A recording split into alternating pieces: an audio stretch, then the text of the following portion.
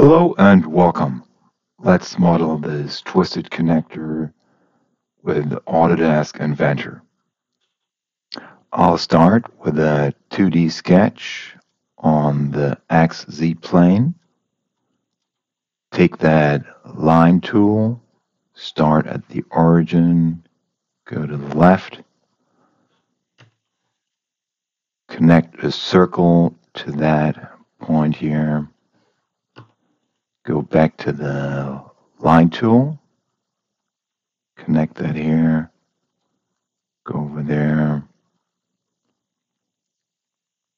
make that arc, finish that, go to the mirror, take those three here, with that as the mirror line. Go to the concentric, make these two concentric and connect those to our first circle. Make that here a construction line. Apply some dimensions. The first one is um, 18 diameter.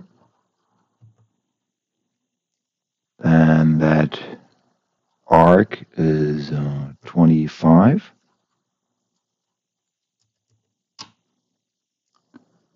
and that line here is 24 and then one dimension between that line and the origin make that 30 Okay. Going to finish the sketch and go into the, the extrude.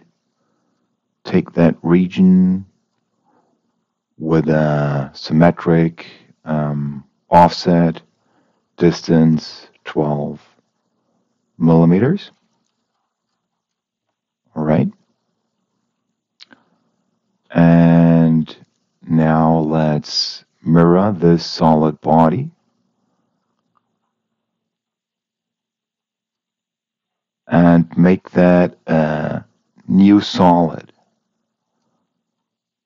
mirroring over the XY plane here. That one. Okay. Next, we will uh, rotate that right body here.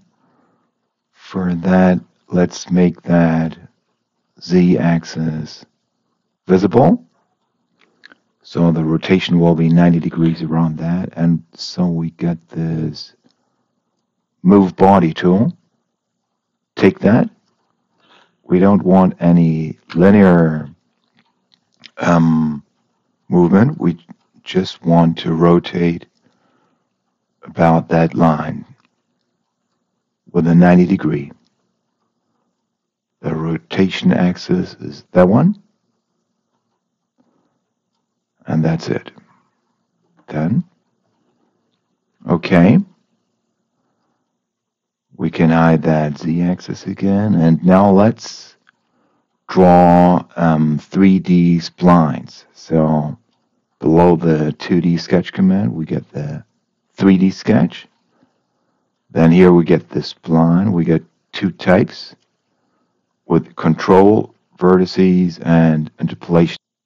So I take the spline command, connect that those two vertices,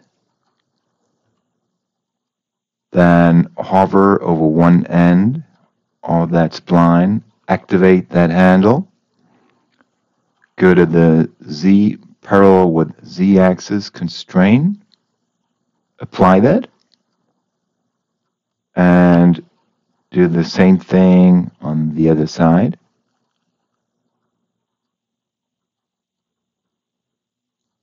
Here.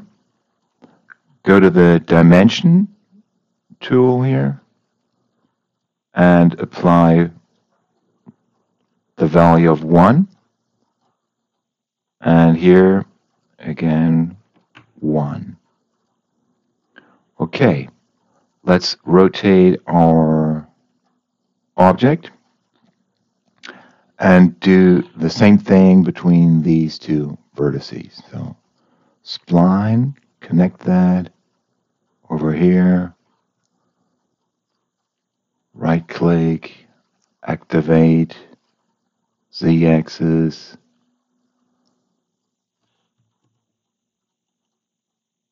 again, here.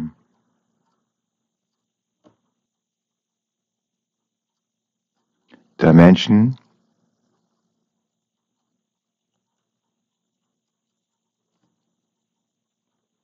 one,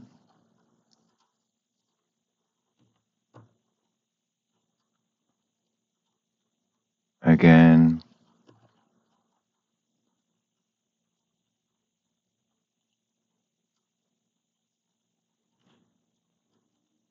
rotate, again here, spline from here to there.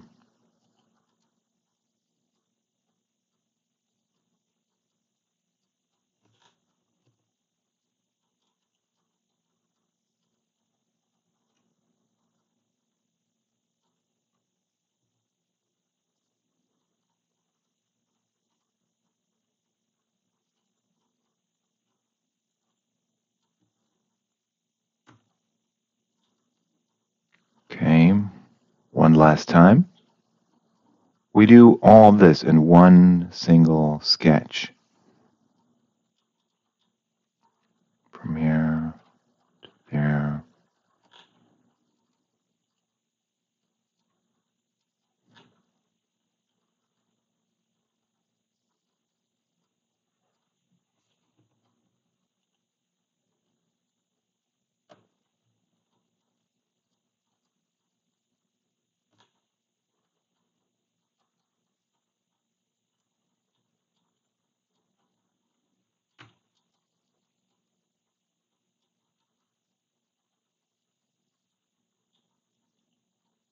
Okay, now let's finish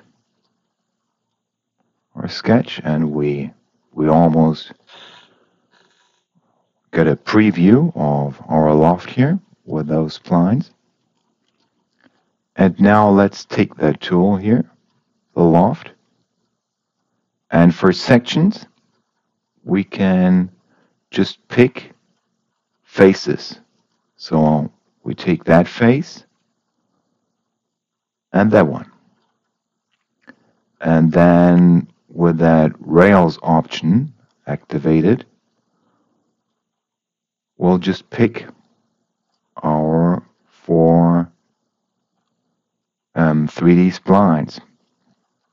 I get this join um, bodies option. So at this, this moment we got two solids here. This was joined. This is still missing, so we go to the combine. Take these two. And we're done with the loft. And we can apply a chamfer with a distance of 1. And just pick those edges here with a tangent propagation. Apply that.